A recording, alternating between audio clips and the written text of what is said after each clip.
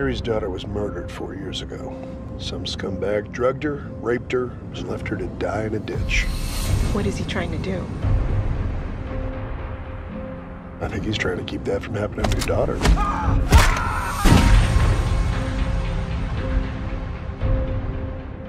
Thanks. Coach.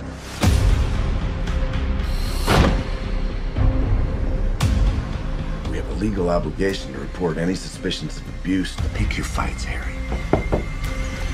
I will. Now come in. It's my school coach. Stop hitting that kid. I think you ought to mind your own business, Coachy. Before I leave tonight, I'm definitely breaking your right arm. A dick. See you at school, kiddo. Coach Sumner, you have a minute? What is it? Where did you go? Ten grand for fun. As advertised, my boy. Solve all your problems.